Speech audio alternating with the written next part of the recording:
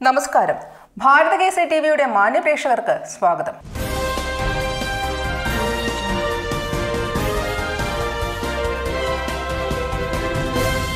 യാദവകുലം പോലെ തെരുവിൽ ഏറ്റുമുട്ടി തുടങ്ങി. ബി ജെ പിയിലെ ആഭ്യന്തര സംഘർഷം കഠാര രാഷ്ട്രീയത്തിലേക്ക് വഴിമാറി. സഹപ്രവർത്തകന്റെ നെഞ്ചിൽ കഠാര കുത്തിയിറക്കുന്നതിൽ വരെ എത്തി നിൽക്കുന്ന വിചിത്രമായ രാഷ്ട്ര സേവനം കഴിഞ്ഞ ദിവസം തൃശൂർ വാടാനപ്പള്ളിയിൽ ഒരു ബി ജെ പി പ്രവർത്തകനെ കുത്തേൽക്കുവാൻ കാരണമായത് പ്രാദേശികമായ എന്തെങ്കിലും കാരണം കൊണ്ടുള്ള സംഘടനത്തിലല്ല. ഏറെ വിവാദമായ കുഴൽപ്പണ കേസുമായി ബന്ധപ്പെട്ട ആരോപണ പ്രത്യാരോപണങ്ങളുടെ ഭാഗമായിട്ടാണ്. തൃശൂരിലെ പ്രാദേശിക പ്രശ്നമായി ഇതിനെ പരിഗണിക്കാനാവില്ല. സംസ്ഥാനത്ത് ബി ജെ പിയിൽ ബാധിച്ച ജീർണതയുടെ പ്രകട ഭാവമാണ് അവിടെ കണ്ടത്. ഒരേ ആദർശത്തിനു വേണ്ടി നിലകൊണ്ടവർ പരസ്പരം അംഗം വെട്ടണമെങ്കിൽ അവിടെ ആദർശമല്ല വ്യക്തി താല്പര്യമാണ് പരമപ്രധാനമെന്നത് വ്യക്തം. ഈ വ്യക്തി താല്പര്യമാണ് ബി ജെ പിയുടെ കേരള ഘടകത്തിൽ ആകെയുള്ളത്. കേരളത്തിൽ പാർട്ടിയുടെ നിയന്ത്രണം കൈവശമാക്കിയ കേന്ദ്രമന്ത്രി വി മുരളീധരനും സംസ്ഥാന പ്രസിഡന്റ് കെ സുരേന്ദ്രനും തൊട്ട് താഴേക്ക് പഞ്ചായത്ത് തലം വരെ ഇത് തന്നെയാണ് അവസ്ഥ. ബി ജെ പി എന്ന രാഷ്ട്രീയ പ്രസ്ഥാനത്തിന്റെ വളർച്ചയല്ല ഇവരുടെ ലക്ഷ്യം. തങ്ങളുടെ വ്യക്തിപരമായ നേട്ടങ്ങൾ മാത്രമാണ് ഇവർക്ക് മുഖ്യം.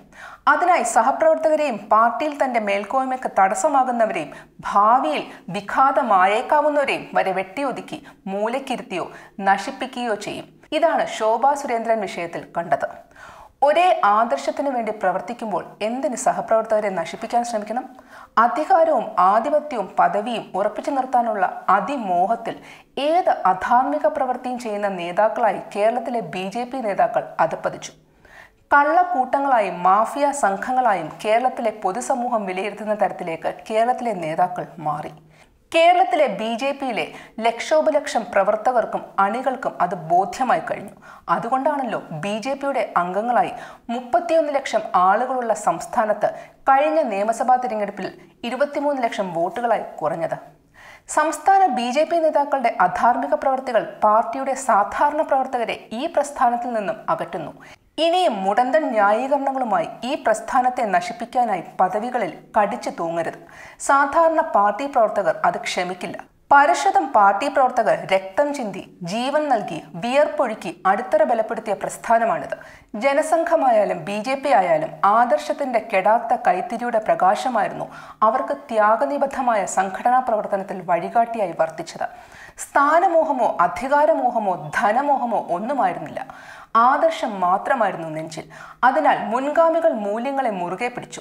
അങ്ങനെ മൂല്യാധിഷ്ഠിത രാഷ്ട്രീയത്തിന്റെ പ്രയോക്താക്കളായി ബി ജെ പി അറിയപ്പെട്ടു. അതുകൊണ്ട് തന്നെ രാഷ്ട്രീയ എതിരാളികൾ പോലും ബഹുമാനിച്ചു. ഈ പ്രസ്ഥാനത്തിന്റെ ആധാരശിലയായി സ്ഥാപിക്കപ്പെട്ട മൂല്യങ്ങളെക്കുറിച്ച് ബോധ്യമില്ലാത്തവരാണ് ഇന്നത്തെ ബി ജെ പി നേതാക്കൾ. അതുകൊണ്ട് തന്നെയാണ് ഈ പ്രസ്ഥാനത്തെ ഇത്രയധികം അധപ്പതിപ്പിക്കാൻ ഇവർക്ക് കഴിഞ്ഞത്. ശതകോടികളുടെ സമ്പാദ്യം മുതൽ നേതാക്കളുടെ വിഷയാസക്തി വരെ ജീർണതയെ വിളംബരം ചെയ്യുന്നു. ഈ പ്രസ്ഥാനത്തിന്റെ മുഖമുദ്രയായ മൂല്യാധിഷ്ഠിത രാഷ്ട്രീയത്തെക്കുറിച്ച് ഇന്നത്തെ ബി ജെ പിക്ക് പറയാൻ കഴിയുമോ? ഇനിയും പറഞ്ഞാൽ ജനം പരിഹസിക്കും. ചിലപ്പോൾ കല്ലെറിഞ്ഞെന്നും വരും. അത്തരമൊരു സാഹചര്യം ഉണ്ടാകാതെ ദയവായി കേരള നേതാക്കൾ ഈ പ്രസ്ഥാനത്തെ അപമാനിച്ചത് മതിയാക്കണം. കേരളത്തിലെ നല്ലൊരു വിഭാഗം ജനങ്ങൾ ഒരുപാട് പ്രതീക്ഷ വയ്ക്കുന്ന പ്രസ്ഥാനമാണിത്. ബി കേരളത്തിൽ വളരണം. ഈ കാലഘട്ടത്തിന് നഷ്ടമായ രാഷ്ട്രീയ നന്മകൾ ബി ജെ പിയിലൂടെ വീണ്ടെടുക്കാമെന്ന് കരുതുന്ന ജനങ്ങൾ കേരളത്തിലുണ്ട്.